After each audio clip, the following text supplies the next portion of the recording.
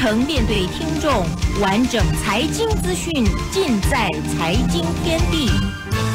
财经天地由新意旅行社赞助播出，Marison Travel 四零八七二七零五七零。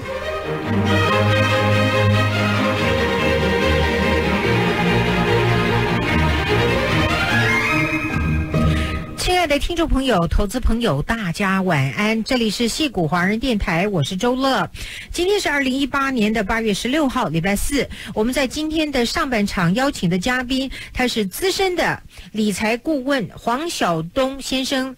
黄晓东先生，他在湾区保险业界纵横了超过二十年的经验，在湾区以及大陆、台湾都担任过高层管理职务。三年前成立了精英理财保险，网罗了湾区非常多的保险精英在旗下。精英保险理财代理多家的公司的产品，特别是美国联合保险公司的长期护理加人寿保险的独特产品。今天非常高兴邀请到黄总为大家介绍一下这个独特的产品到底是。是什么产品？黄总你好。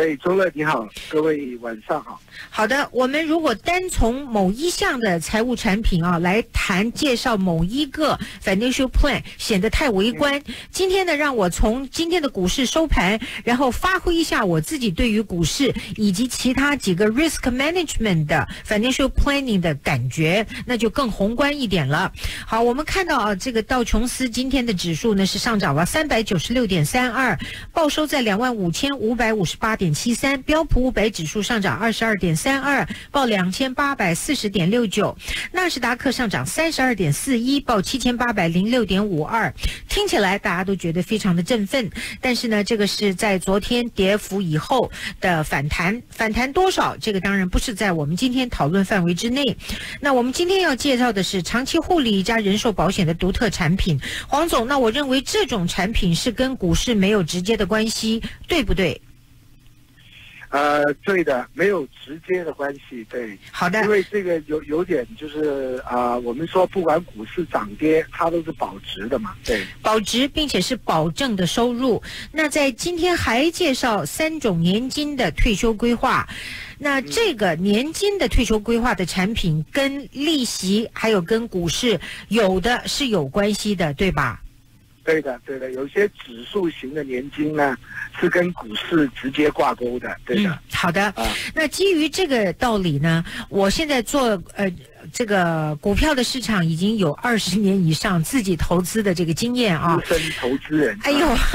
那我的这个阶段呢，还有过程呢，也经过很多不同的时期，碰到不同的市场，看到自己的回报也有一些做调整。那我现在认为呢，每一个人的股票的市场趁好 take 一些 profit，把它。就是既然有赚钱嘛，那就是涨了，那我们就把它转移到一些 risk management 的 financial 的 product 里面来确保我们退休以后啦，或者是生病以后的保障，然后剩下的钱继续留在股市，任它翻云覆雨，任我股市驰骋，就不怕畏惧就少了。那您觉得我这个心态也是很多人的心态吗？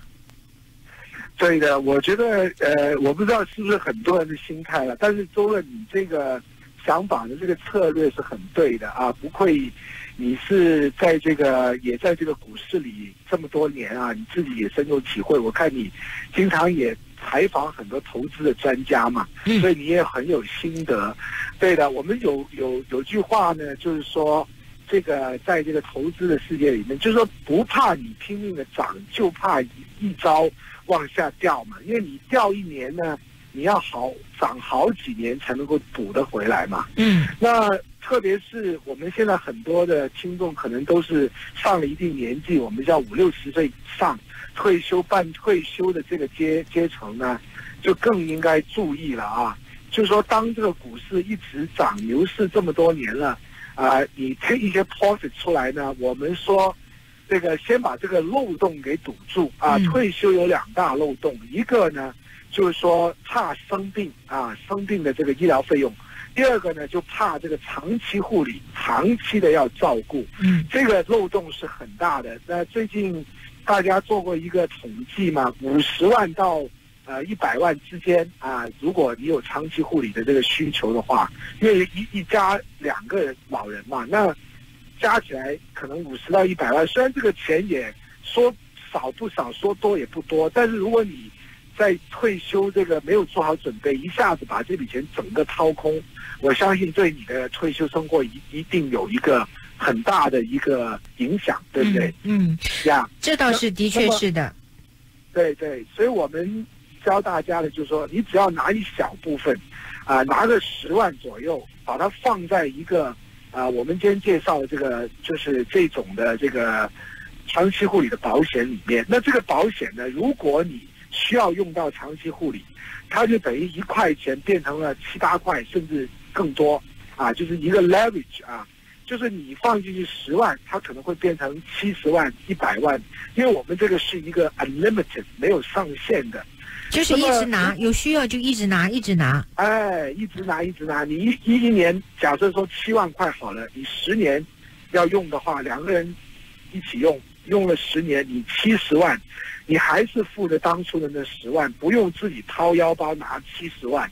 那你想想看，这样的话，你本来股市全部都要卖掉拿出来的七十万，现在你只拿了十万，剩下的这个钱是不是在里面一直可以滚啊？就跟刚刚你说的这个策略是完全一致的啊。嗯，这样你就更加能够安心的去享受你的晚年，这是第一个。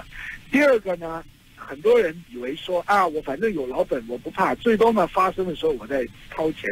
可是他们没有想过哈，如果你有保险的话，你的那个投资的这个啊，这个长期护理的这个 quality of care，我们用英文讲，就是说你的照顾的这个水准以及你的生活水准是比较高的，因为你可以用别人的钱来来请人来照顾嘛，总比自己掏腰包要要要心疼嘛，对不对？哎，对呀，对呀，对呀，对吧？很多人没有想到过这个，光是想钱去了，对吧？但实际上，这个 quality of care，我我们你想想看，如果一个人中风需要人来照顾，老人痴呆有人照顾，那你家人自己没有办法天天照顾嘛？那你要请一个专业的人，有有执照、有专业的人来照顾你呢，还是你请一个根本就是最便宜的，你又不知道他懂不懂，好有没有好好照顾你的人？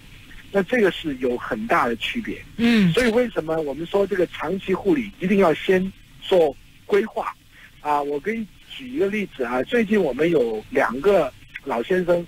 就是给我们打电话啊，说最近这个周末的这个啊讲座都要来听，因为。他说：“我其实已经一年前已经听过你的讲座了，那时候我还在犹豫，到处 shop around。嗯，现在我终于明白了，你这个是最对我们最好的，我要回来再听一遍，嗯，仔细听。我说好啊，好啊，欢迎。就说说明大家对这个问题真的很关心，但是苦于找不到好的这个方法啊，那么就。”可以，大家来尽量来听，尽量来发问啊！对于这个产品，我现在经营了四年多了，我也很了解了，也也也做了很多的客户，啊，真的可以让大家用各种各样不同的方法。如果你没有一笔现金，你可以慢慢缴，呃，甚至用你的四零一 k 的钱，反正我们总会找到方法让你呢。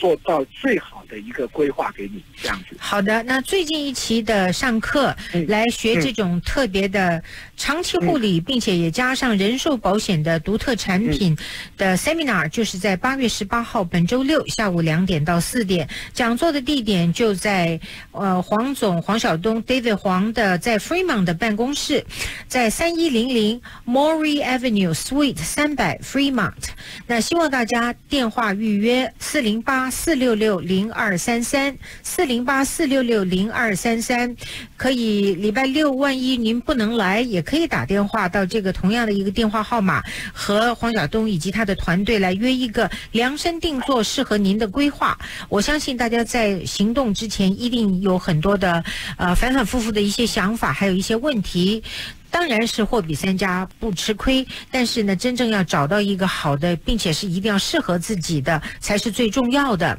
那提到了长期护理，又加上人寿保险的独特产品，刚才您又说老先生，那么这个老先生如果今天也放了十万，那他的杠杆就不见得有七十万以上，而是比比较会少一点的，是不是？跟年纪有关吗？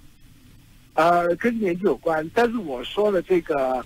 啊，十万大概就是差不多六十几岁的人啊需要花的钱了，对，而且是两个人了，哦就两个夫妇六十几岁就花个十万十来万，那么当然这个要见人而异啊，也不见得一定要就是把这个钱全部拿出来。有些人说，那我慢慢的缴可不可以？分期拿也是可以的，哎，分期拿，就是他可以每个月缴缴缴个几百块，这样慢慢的缴。那么慢慢的缴呢，如果他中间其中有一个人生病了，开始要理赔长期护理了，那后面的钱都还不用缴了。所以这个分开缴也有它的好处啊，嗯，各各有各的好处，就看各个人的自己的财务的情况怎么样啊。有些有些人甚至呢，就是像你刚刚前面提的，啊，很多人的钱在四零一 k 在这个股市是呃 mutual fund 里面，啊，有些人干脆就把里面的一些基金卖掉，拿了十来万，从那个四零一 k 把这个钱转过来，也可以用这样的方式来来做，就等于是呃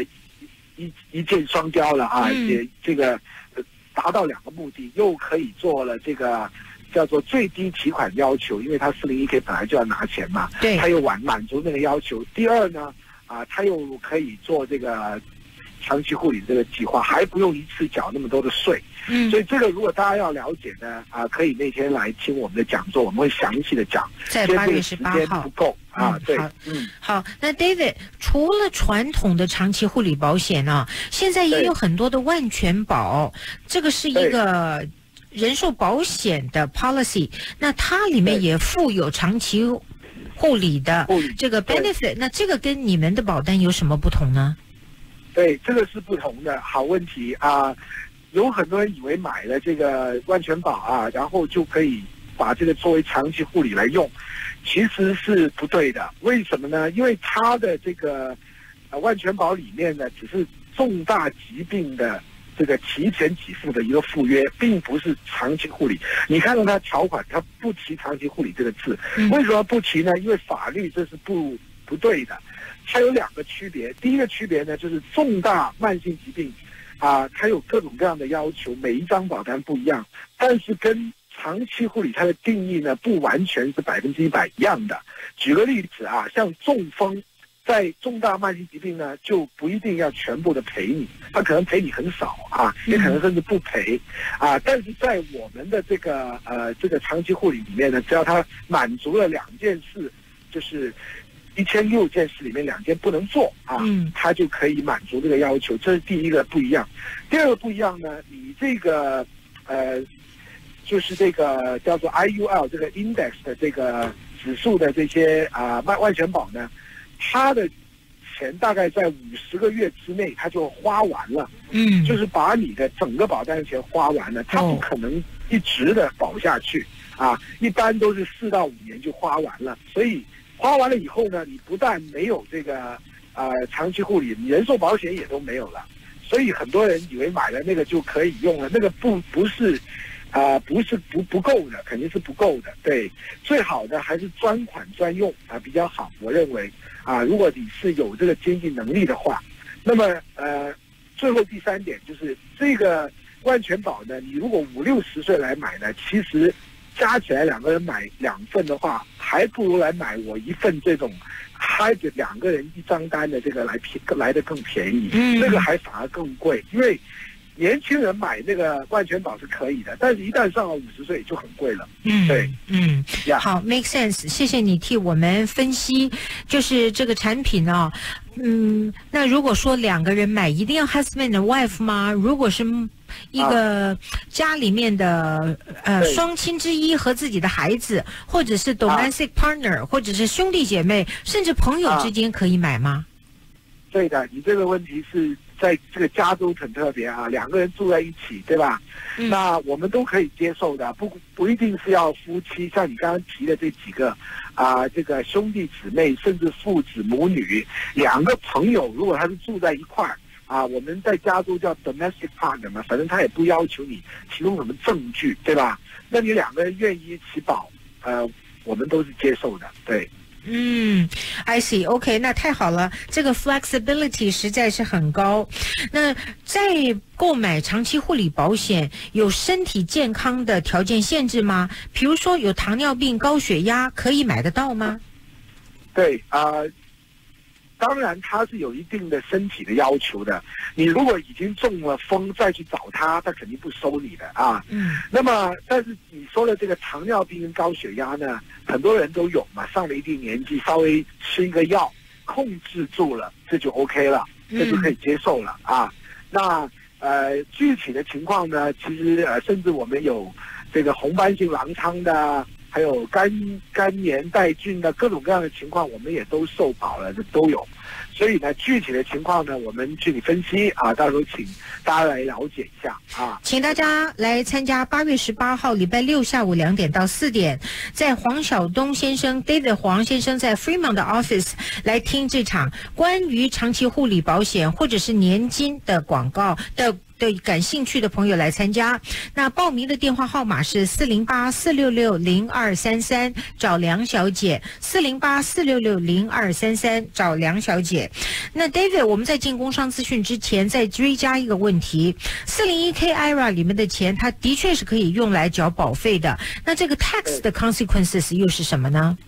哦，好问题。这个 tax 呢，就是，呃，他不用一次缴一个税啊。举例说，呃，一个人拿十万块钱出来，那么他的税呢是分成二十年，每一年给他六千五百块钱的一个一零九九，就是等于是一个 small distribution 啊，就是来用那个六千五百块，如果你是税率百分之十，那你只缴六百五十块就可以了，这样分成二十年就把你的税缴完了。那么这个也同时满足了你最低的提款要求，这嗯样子。OK，嗯好，非常好，听众朋友，我们现在要进一段工商资讯的时间了。回来以后呢，除了这个长期护理，再加上人寿保险的 policy，也要跟大家介绍一下三种年金。这其中有一种是现在讲的是热热腾腾、非常红火的。那您要知道这个是哪一种吗？然后对自己合适不合适？在买任何产品都要提到 suitability，那这个是非常重要的一个 term。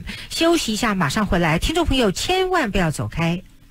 精英理财为大家介绍最新的长期护理保险，两人合买一张保单，一份保费保两人，长期护理终身无上限，保费固定不涨，用不到长期护理有人寿保险理赔。如你有三高，也可以让您承保。免费教育讲座时间八月十八号周六下午二至四点，留座请电四零八四六六零二三三四零八四六六零二三三四零八四六六零二三三，找梁小姐。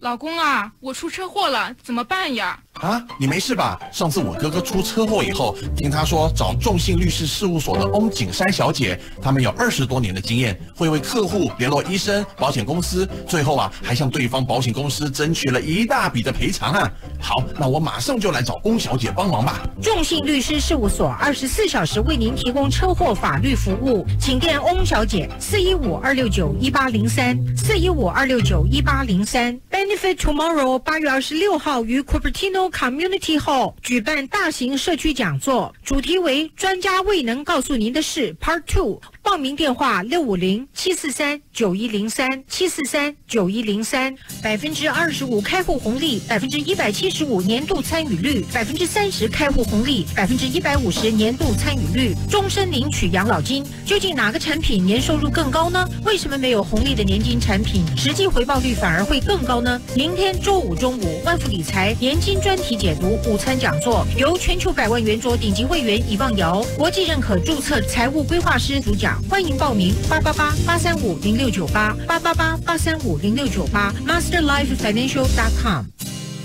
德利昂地产诚邀您参加八月份研讨会，首席执行官 Michael Repka 讲解卖房时如何卖出好价钱。戏谷最成功的房地产经纪人 Ken DeLeon 为各位提供最新的房市动态。八月二十三号周四晚六至八点，Sharon Heights Golf 的 Country Club 二九零零 Sand Hill Road Mellow Park，预定请致电六五零五四三八五零零或电邮 rsvp at deleonrealty.com。此讲座为英文讲座，专为潜在客户准备，谢绝其他地产经纪人参家。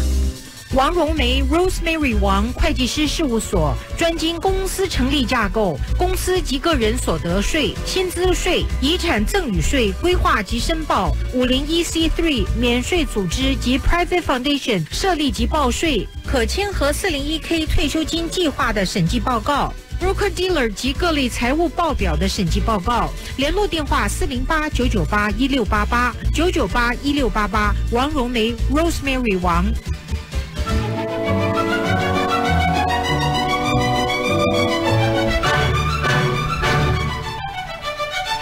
David 你好，欢迎回来。哎，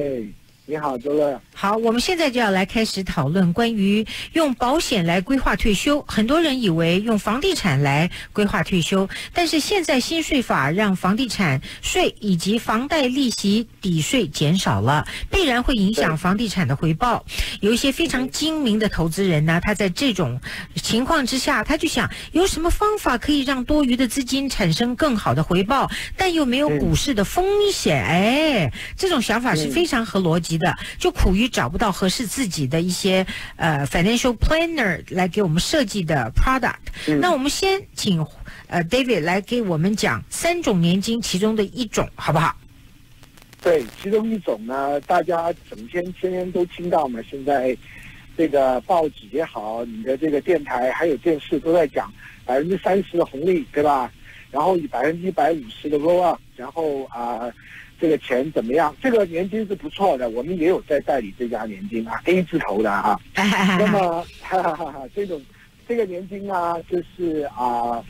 它的好处就是说那个红利很吸引人嘛，哈。呃，谁不希望钱一进去就涨百分之三十呢？对吧？啊，那么但是呢，呃，大家要知道，呃，这个钱呢要锁十年的啊。如果你的钱十年之内要用呢，那你最好就要不要投在这个里面啊。嗯，那么它这个，如果你十年之内你拿拿出来呢，就是不但拿不到那个红利，你还是要被罚款的啊。哦，这是第一个。对，那么没关系，很多人说反正老钟都有钱了，放十年也没关系，我就放在那好了啊。好，那你放在那呢，你将来要拿钱，你必须要拿这个他的 income，就是叫 annuity，嗯，就是你每年每年慢慢的拿，那这样子呢，你的这个红利啊，还有你的这个。连这个啊这么多年一起涨的，跟着这个呢，这个一百五十的这个啊 roll up 呢，就是啊增值啊，我们叫啊这个就会达到啊，就是慢慢的拿就是这样子。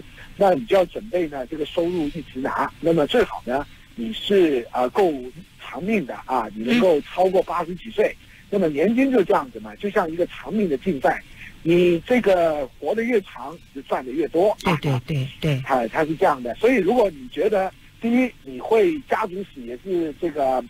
很这个活很久的，然后呢，你的钱也暂时不用，那么放在那至少十年以后我就开始拿收入了，那这个是不错的，这是一个好的一个年金。但如果你不是这种情况啊，那么你呃如果说只是看这个最后，其实年金有一个最重点的地方就是。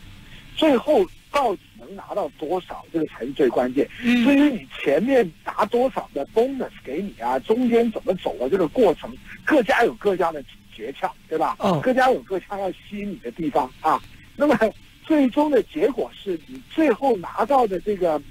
回报，就是你每个月拿到那个收入，这个是不是最高的啊？这个是我认为哈，如果你是拿收入，那么如果你重点是这里的话呢，那。你可以比较另外一家，呃，也是 A 字头的哦，同样一家吗？呃，同呃不是同样一家，另外一家就是啊 Sting 这家哦，OK，是另外另外一家对。那么这一家呢，它的收入呢，其实每一次跟另外那个刚刚说的那家比，都是要更高的啊。虽然它没有这个所谓这个呃呃多少的这个 bonus 啊什么等等的，但是另外一家拿到的实际收益是高，因为它的 pay out rate 是叫做。就是你同样的一笔钱，它给你的那个百分比高，虽然它那个底可能没有你那个底高，因为你有百分之三十的这个这个所谓的 bonus bonus 嘛啊，但是它的 pay out rate 高，那最后你拿到的钱可能就比较高。现在的 pay out rate 是多少？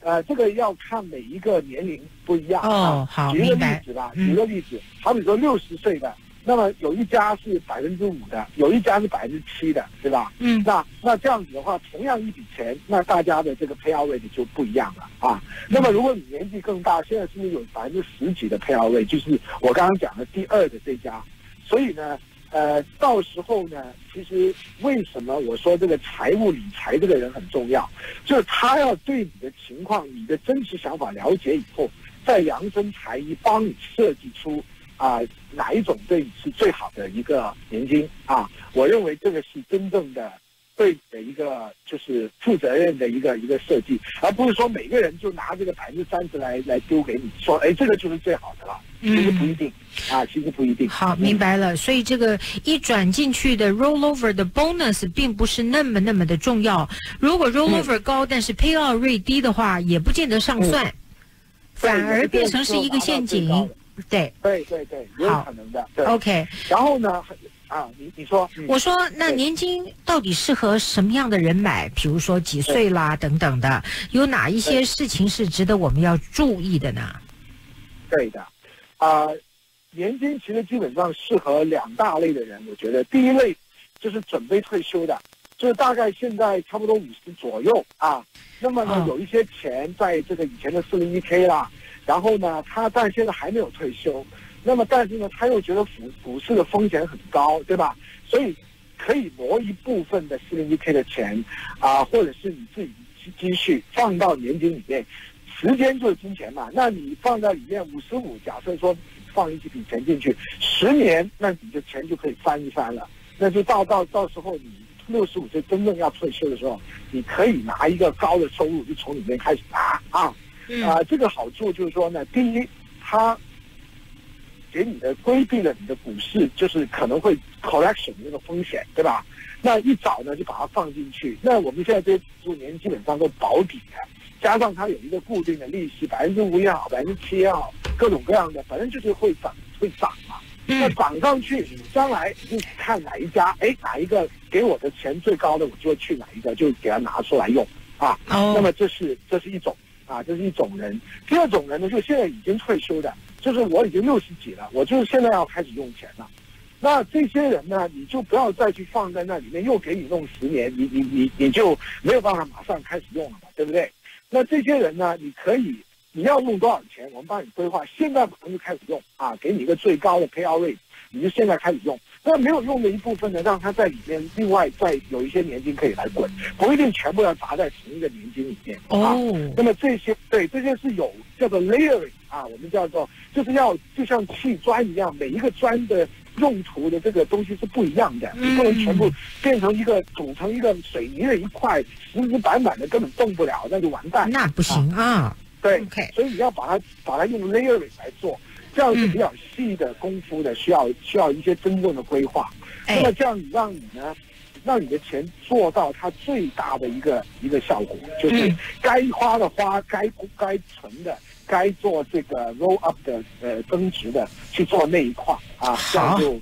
最好。嗯我们欢迎我们所有的听众朋友都报名参加八月十八号礼拜六下午两点到四点来参加这一场，又有包括长期护理、人寿保险的特别的产品，然后又有包括替您分析买年金适合什么样的人买，要注意什么样的事情，尤其是针对这个个人来讲，到底适合你想要的是什么，然后听到这个 layering 啦等等，都不是一个那么简单就可以解决自己所有复杂的需求的问题。所以机会来了，希望大家热烈报名参加由黄晓东 David 黄所主办的这场座谈会，时间在八月十八号礼拜六下午两点到四点，欢迎大家电话预约四零八四六六零二三三四零八四六六零二三三找梁小姐。感谢你 David，祝你周末 seminar 成功，拜拜。好，谢谢，拜拜。听众朋友，上半场节目结束，感谢您的收听，我们进段广告，马上回来。精英理财为大家介绍最新的长期护理保险，两人合买一张保单，一份保费保两人，长期护理终身无上限，保费固定不涨，用不到长期护理有人寿保险理赔，如你有三高也可以让您承保。免费教育讲座时间八月十八号周六下午二至四点，留座请电四零八四六六零二三三四零八四六六零二三三四零八四六六零二三三找梁小姐。大挡不住的麻辣诱惑，回味无穷的川菜经典。老赵川菜馆暑期推出爽口凉菜麻辣双脆，Q 感十足的香辣牛蛙，绵绵细致的香辣脑花，格外麻格外辣，去湿健脾好开胃，让您在炎炎夏日美味尽流唇齿间。老赵川菜，味蕾的艺术大师做出来的品牌，吃出来的口碑。三家分店：Mountain View、San Mateo、New Peters。欢迎定做，来电堂食。台北驻旧金山经济文化办事处处长马仲林做客娱乐漫谈，畅谈美中贸易战升温中的台湾处境。除了文化经济交流，商业往来也是马处长重要使命。中文投资网 CEO Warren 王介绍一只股票，可让您未来二十年成为百万富翁。理财专家赵世文介绍一种退休规划，有多倍收入，越领越高。请于八月十八号周六晚七点半，娱乐漫谈与您分享。百分之二十五开户红利，百分之一百七十五年度参与率，百分之三十开户红利，百分之一百五十年度参与率，终身领取养老金。究竟哪个产品年收入更高呢？为什么没有红利的年金产品实际回报率反而会更高呢？明天周五中午，万富理财年金专题解读午餐讲座，由全球百万圆桌顶级会员以望瑶国际认可注册财务规划师主讲，欢迎报名八八八八三五零六九八八八八八三五零六九八。MasterLifeFinancial.com Frank 刘利用独到的交易技巧，在具有挑战性的市场中，销售价再创新高。Cupertino 标价一百八十万，成交两百四十万；Sunnyvale 标价两百三十万，成交两百九十万。同时，目前 Frank 刘积极开发大数据分析、人工智能对接买方与卖方的地产投资交易平台 RERPA Framework，请致电四零八三一三二六八八四零八八二八零六零零，邮箱 Frank 刘。一二六八 at gmail.com。Trans-Pacific 泛亚财务保险公司是全美华人最大的寿险与年金的 General Agency。北加州现有 Fremont 及 San Jose Office Y，，第三家也于 San Mateo 正式开张。全美已有十一家分公司，代理超过四十家知名保险公司，并有一千五百名保险经纪人为客户挑选最适合的保险及年金产品，有专业培训及 Back Office Support。欢迎保险经纪加入我们的行列。Trans-Pacific。寿险与年金的专家，华夏嘉景地产学院，华人名校，最新精准考题，并有实务训练，创下湾区最高录取率以及最佳学生评语。我们还提供超低贷款利息，保证最低，同时卖屋优惠，保证一个月卖掉您的房子，并免费 staging，扩大营业，成真地产贷款经济分成优惠。报名热线四零八六二一九九二零六二一九九二零，或上网 triple w goodwill realty dot com。同时，我们有银行屋。短售屋、法拍屋讲座。Guggen，房屋贷款的首选。Guggen 总部位于 Sunnyvale，在 Cupertino、Burlingame、Fremont、Pleasanton、s a r a m o o n、North s a l e s A 和 San Diego 均有分行。Guggen 贷款诚信可靠，值得您的信赖。欢迎加入 Guggen 精英团队，请电四零八七二零六八零零四零八七二零六八零零四零八七二零六八零零。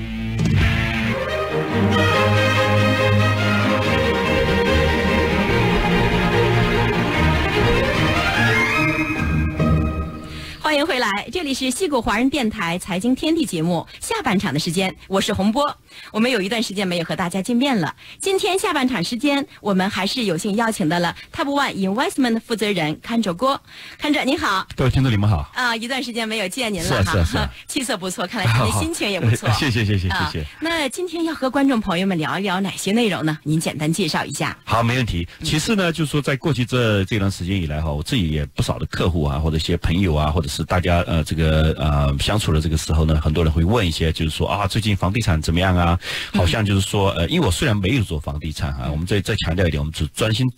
专心专注做贷款而已。OK，这么多年以来都是一样啊。但是呢，因为我们做这个行业，毕竟会接触到这个房地产，所以这中间来讲的，一些这个变动呢，一些数据呢，呃，可能稍微就是说我们会比较了解一些，就是说呃那。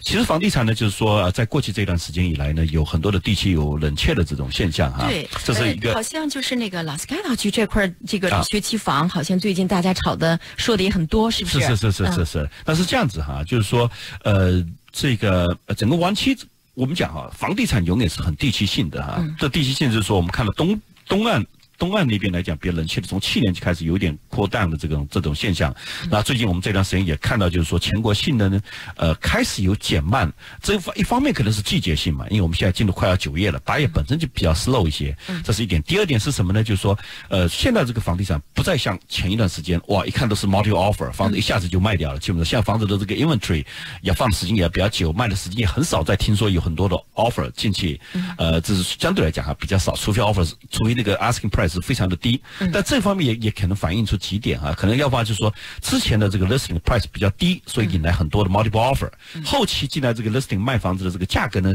普遍来讲都比之前要涨了。嗯涨了这个之后呢，这个进来这个 offer 呢自然会少一点，所以让人家有点错觉，觉得房地产有 slow down，实际不是，是因为价格涨了，所以呢导致这个 offer 自然少了，并没有这个价格并没有跌啊。这一点我们希望大家这个这个是一个季节性啊，就是八月相对来讲。都是比较慢，都是比较 slow 一些。一第一，第二呢，就是说八月份的新上市的这个房子，这个 asking price 呢，要么就是说没有卖掉，之前没有卖掉房子都是价格比较高的。新上市这个价格也比之前的这个价，普遍来讲都涨了百分之十到百分之二十。就是我们说，以前我们是要看到那个 Campbell 很多房子在这，我们在这个节目中以前也讲过 Campbell 啊、Los Gatos 啊那南边南南湾的这一带比较多，所以我个人这个发展，这个对于这个房地产整体这个看法呢，我还是认为就是说是整体的这个重心哈是由北往南发展的这个趋势，就是说在以前北边的这个发展来讲呢是比较早期发展的比较快，是像 Mountain View 啊，现在我们看 Google 啊、Facebook 这发展的比较发迹的比较快，所以导致这北边的这个城市呢，它在某一个阶段来讲，前几年的时候突然间涨得很快，就是因为它累积的到了某一个点。我们讲累积的意思，就当很多的写字楼同时间盖好了，这个时候，哎，隔了那个这那一年呢，可能这个就到就到这个呃住宅这个价格上涨，因为写字楼盖好了，这个意味着更多人搬进来工作，搬进来工作，大家就会隔了一年之后，就很多人就想搬到那附近来，要工作的这个地方找房子，那个房价自然上涨。这个是说大概在两三年前的这个时候，Google 的这个这个这个呃 Main Campus 完工的这个之后，Facebook 的呃 Main Campus 完工的这个之后，之后的隔了一年到两年，房价就大涨了。这个是一个趋势，我们所看到就是说，每一个地区性写字楼大批的写字楼盖好了这个之后，隔了第二年或者第三年，那一带房价就开始大涨。所以我们从这个角度去看，因为你要知道，这么多的写字楼盖好，意味着是更多人进来工作，对不对？有更多人进来工作，他们刚开始大家可以忍受远一点就 commute，到第二年就受不了了，就可能搬到那个附近来去住。所以这个需求，我们看的房地产这个这个整体这个趋势，其实有时候啊，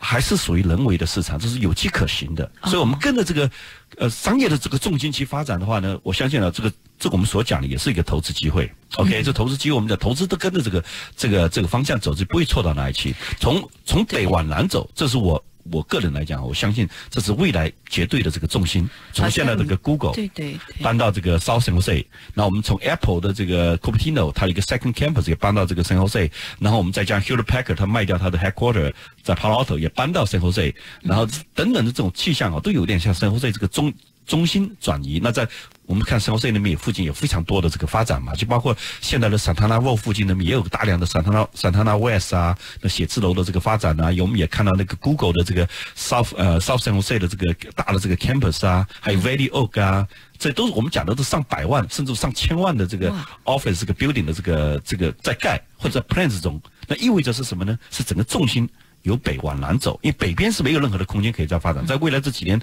很可能没有任何的新的写字楼盖，或者有的非常难零零难，这是很零散的这种写字楼盖好，没有写字楼新的写字楼的供应，意味着是什么呢？来这里工作的人是有限的，就这么多了，可能不会再往上增长了。既然不会增长，我认为房价再涨的这个上涨的这个动力就减少了。这是我到今天为止我都认为这种观点。房价是跟着这个写字楼，跟着这个就业机会走的。哪里将来会更多的这个写字楼会盖，哪里附近呢房价就会涨。而且它是有一个积累的时间，比如说是您说有两年、第二年、第三年，一年到两年，一年到两年它左右的时间都会大涨。这是一个很巧妙，而且很很微妙的一种市场规律，是是是是。其实它是有个规律，就是我们这个你在这个行业里面做的久了，这个之后就大概可以看得到这个未来这个规律。所以我我一直认为啊，Campbell 跟 Los Gatos 那一代来讲，又有又这么近，未来的所有的这个新的写字楼的一个供应，第一，第二呢，就是说交通从北往南走，从那一段生活隧道南边到 Los Gatos 这一带是交通也没什么，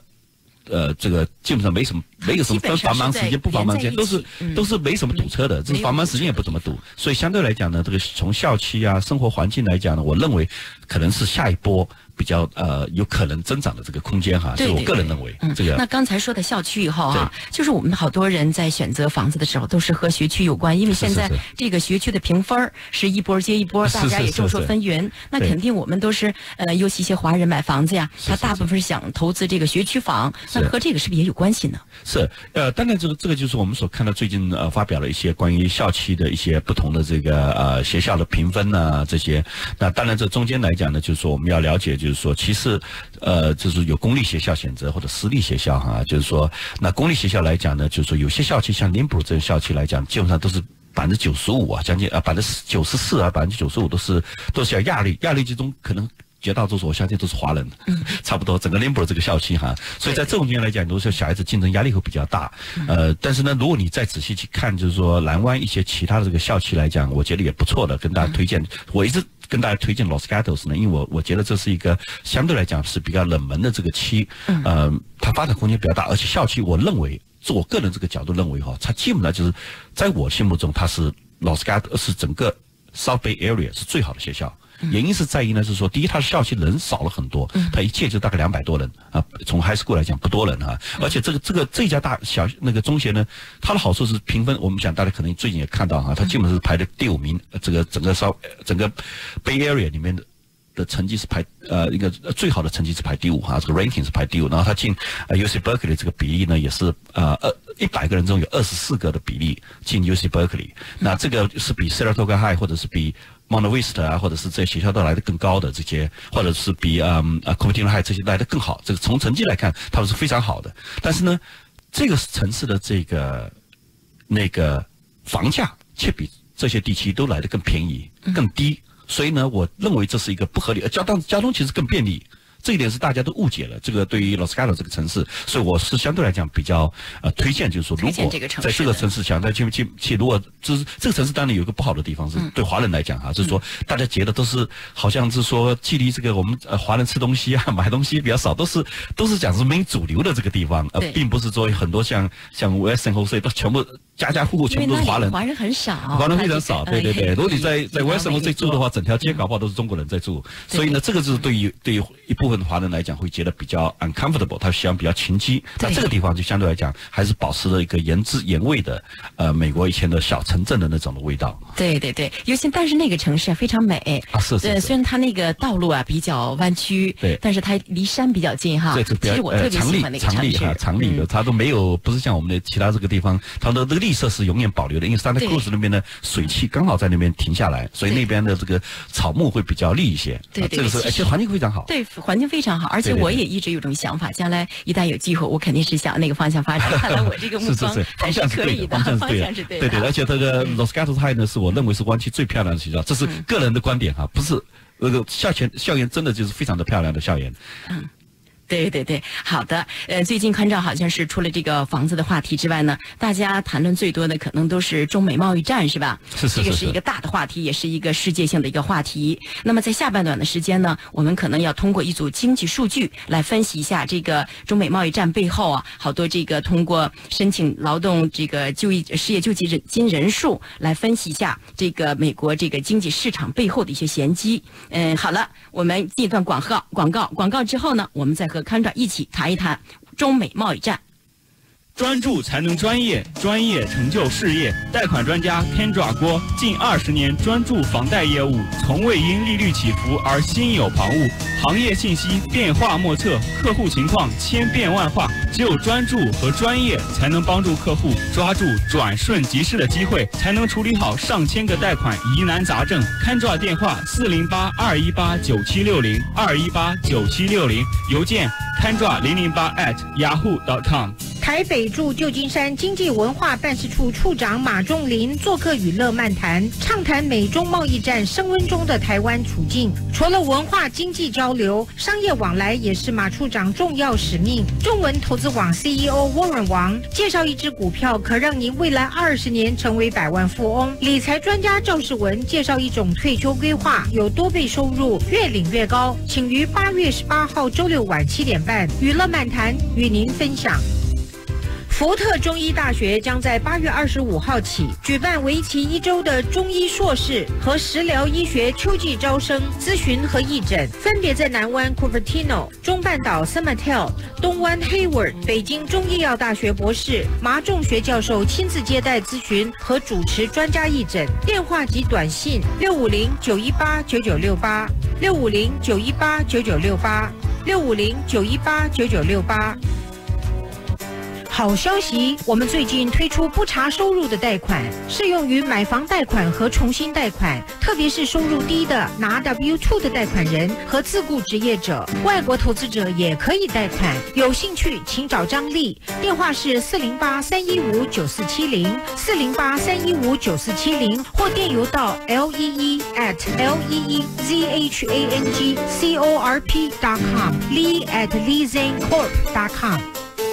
精英理财为大家介绍最新的长期护理保险，两人合买一张保单，一份保费保两人，长期护理终身无上限，保费固定不涨，用不到长期护理有人寿保险理赔，如你有三高也可以让您承保。免费教育讲座时间八月十八号周六下午二至四点，留座请电四零八四六六零二三三四零八四六六零二三三四零八四六六零二三三找梁小姐。GMCC 计划多，直接审核，直接放款，快速 closing，将 b loan 最低二十万起，两百二十万买房只要百分之十，无贷款保险，超低利率，可可用 RSU，用 Departure Rental，无需两年出租记录，贷款专线一八六六 GMCC 位，GMCC 万通贷款南北加州共八家分公司，诚征贷款顾问，一对一培训，短信六五零九九六一九八二六五零九九六一九八二。或电邮 info at gmccloan.com。专注才能专业，专业成就事业。贷款专家 Kendra 郭，近二十年专注房贷业务，从未因利率起伏而而心有旁骛。行业信息变化莫测，客户情况千变万化，只有专注和专业，才能帮助客户抓住转瞬即逝的机会，才能处理好上千个贷款疑难杂症。Kendra 电话四零八二一八九七六零二一八九七六零，邮件。潘抓零零八 at yahoo.com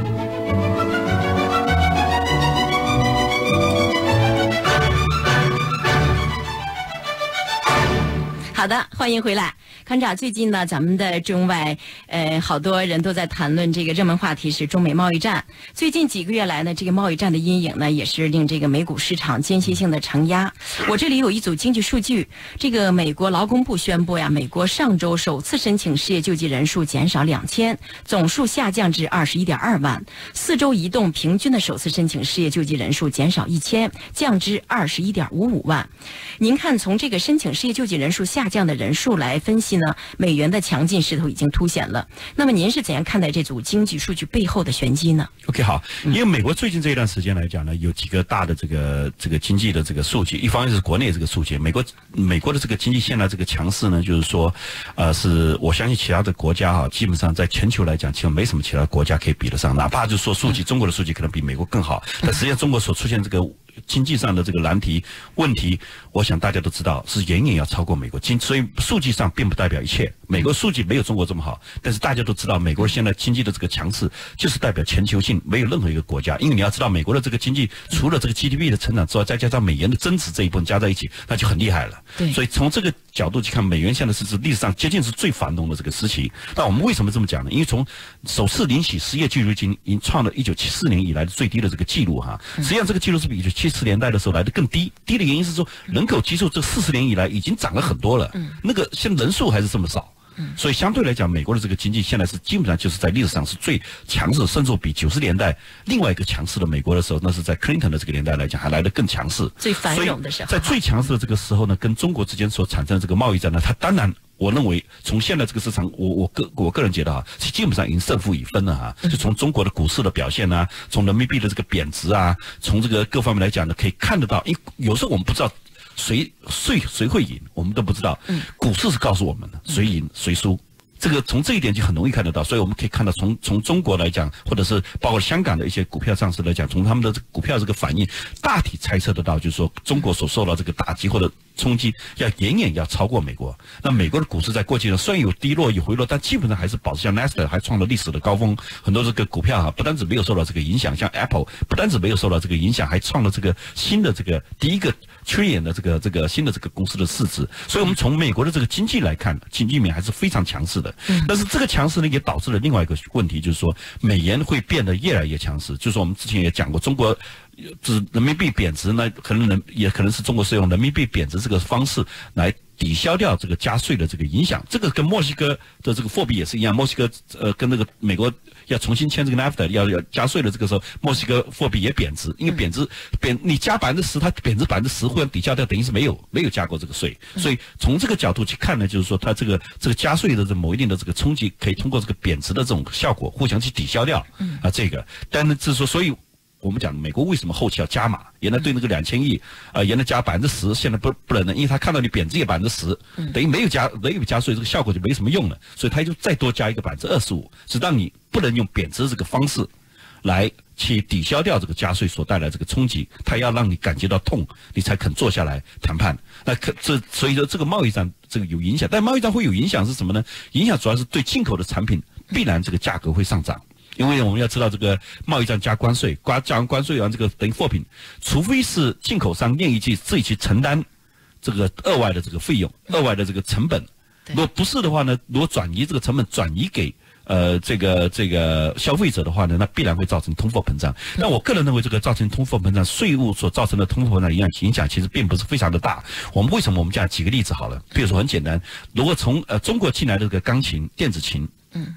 如果是小型的电子、小小的那种 toy 那种哈，在美国零售价是三十块钱的话呢，进口价是十块钱。那如果中国这个关税加一个百分之二十五，这其实加过两块五，就是对十二块五。那十二块反映在三十，十二块五再反映在十块钱就涨了百分之二十五，但反映在三十块来讲，它只涨百分之十不到。啊，这个就是呃涨了不止没有百分之十吧，可能只是百分之七啊百分之八，那搞不好就是说这个的价格还是会涨的。啊，别误解哈，这价格还是会涨的，所以最终就是说，看这个最终的这个零售价，最终因为百分之二三十分之二的成本是美国本土的零售跟运输、物流等等所造成的这个成本，进口的成本只占三分之一，所以这个三分之一涨的这个这个税这个税这个增加，并没有反映出零售价最终也是涨这么多，但是最终还是会涨，会受影响。但是呢，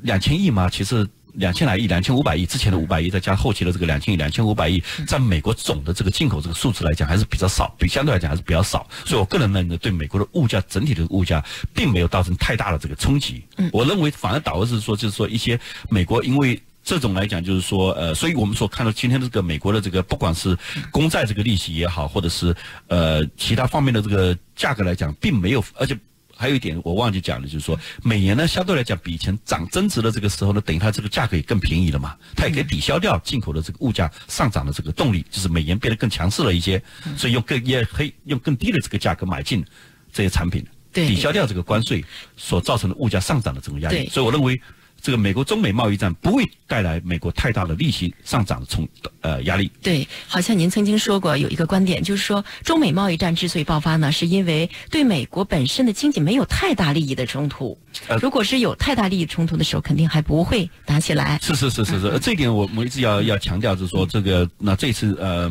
呃前两个月有机会回国内，呃受到当地政府这个邀请去做了一些讲课哈。其实我们也要强调一点，就是美国在这一次呢，就是说冲击。其实并没有大家想象的来的这么大呢，就是因为主要原因就是说，因为中国的很多进口到美国的这个产品来讲，它有可取代性。因为你你涨了这个税，涨了这个价格，涨了这个，人家不买你中国的生产产品，人家可以买马来西亚的，或者是印度的，或者是呃越南。生产的东西，呃，这个相对来讲，这个它有可取代的。但中国从美国进口呢，它有太大的不可取代性。刚需的。对对，它如果它刚需，它不买。并且我们就讲最简单农产品来讲，不买农美国农产品，那它可以其他国家买的。这个导致其他的国家的这个农产品的是价格大涨，中国要付出也更高的这个代价，搞不好。所以呢，对来对中国来讲，这个打击对美国来讲，它会有影响，但是影响没有。大家对中国的所受到的打击其实更大的，因为美国的，呃，中国从美国进口的产品很多是有不可取代性的。嗯。你高科技产品你不可能取代，对，对不对？那你农产品你也不能完全取代，你不期待你要付出同样甚至更高的代价在其他地方进口，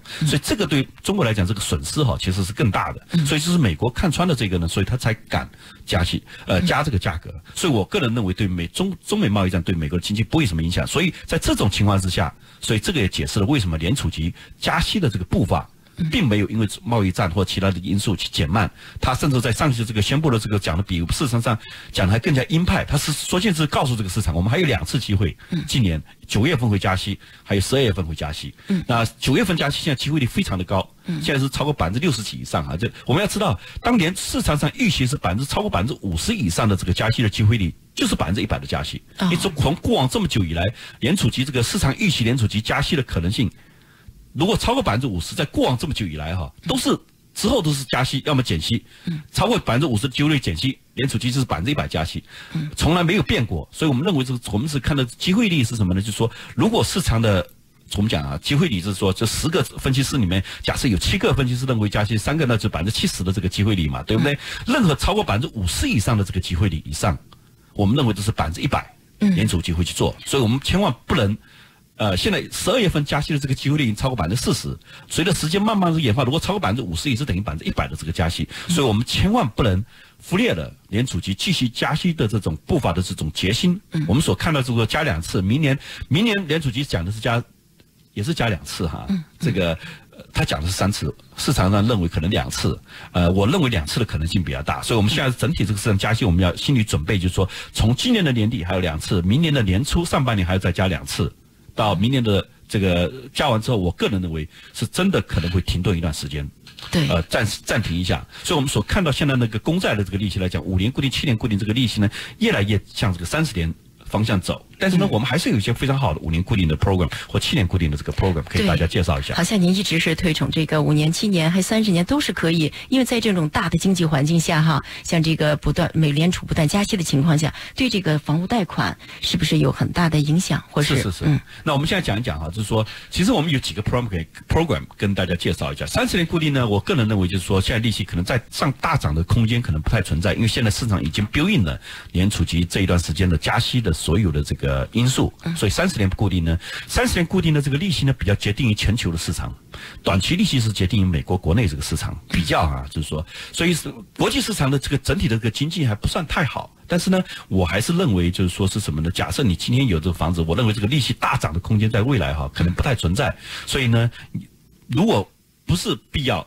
我真的认为，呃，七年固定是一个比较好的选择。嗯，OK，七年固定呢，我们有个江波龙七年固定呢，利息是在三点七五左右的这个利息，三点七五到三点八七五。嗯，江波龙我认为是一个，如果是 cash out 大概是四点零哈，就有些部分的这个利息可能在三点八七五到四点零之间这个 range，但是呢，绝大多数这个利息在三点七五。我们应该这样解释，因为因为贷款利息你要知道，就是说它有，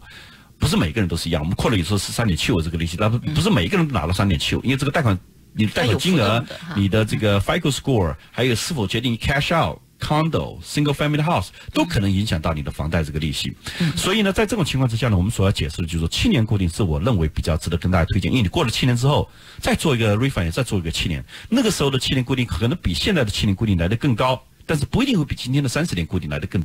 来的更来的更呃来这个来的更高多少？更高，搞不好也差不多。那我们现在三十年固定大概是四点三七五到四点五啊左右这个 range 里面。OK，那有些呃说四十五万三，有可能赚四点二五啊，或者基本上这个利息在四点三七五左右，这个利息比较多一些。那我们所看到这个七年固定跟那个三十年固定一个零点五的这个息差，这是一点啊。所以我认为七年固定在今天来讲还是一个非常非常好的选择。OK，这是指 Jumbo loan。OK，如果是四十五万三或者六十七万九以下的话呢，那我还是推荐三十年固定啊，这是呃，或者是 cash out 六十七万九稍微多一点的，倒不如做 jumbo loan 做一个 cash out 七点固定，那我们也可以做到大概是三点八七五到四点零这之间。OK，那我们加到这个六七万九以上，六十八万呢这样子，这是一个这是其中一个选项哈。对。那早一段时间我们所讲的就是说，五年固定投资房子，我们有一个好的 program 呢，五年投资房子的利息呢大概是四点五到四点六五之间。OK，这是一个五年固定投资房子，我认为是个不错的选择。那除此之外，还有一个不查收入